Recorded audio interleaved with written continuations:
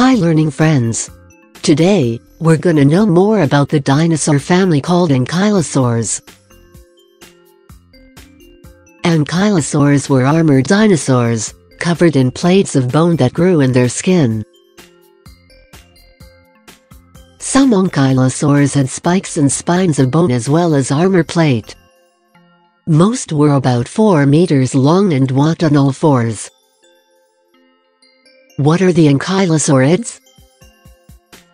Scientists have divided the ankylosaurs into two families. The nodosaurids, which had bone armor and often spikes across their backs. And the ankylosaurids, which had additional armor on their heads, and tails with bone clubs at the end. Were they vulnerable to attack? Ankylosaurs were the tanks of the dinosaur world. An ankylosaur could only really be hurt if it was flipped over. This is because its soft underbelly was the only unprotected part of its body. However, in order to reach its vulnerable underbelly, a predator first had to get past an ankylosaur's impressive defensive armor. Which ankylosaur was found first? The first ankylosaur to be found by scientists was Hylaeosaurus. The fossils were found in southern England in 1833. They were studied by the scientist Richard Owen, who also had fossils of Iguanodon and Megalosaurus. He grouped them together and gave them the name dinosaurs in 1842. In what era did the ankylosaurs live?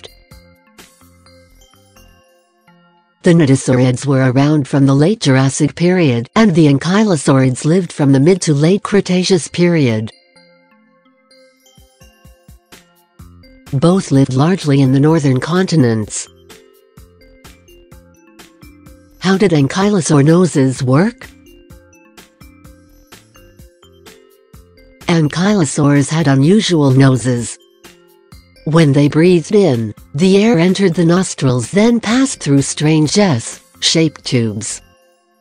Ankylosaurs could have lived in cold, mountainous places, so scientists think this warmed the air before it entered the lungs.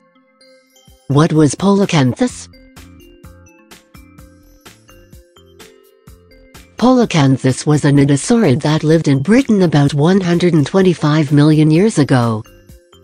This means it lived in the same place at the same time as Hylaeosaurus.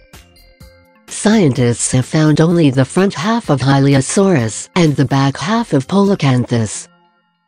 It is therefore possible that the two dinosaurs are really the same creature. Fact File Ankylosaurs had small, blunt teeth. So scientists believe that they probably ate soft fruits and plant materials that did not require a lot of chewing, rather than tough leaves and hardy plants. We're glad you spent time learning about the Ankylosaurus family of dinosaurs. We're proud of you. Bye for now.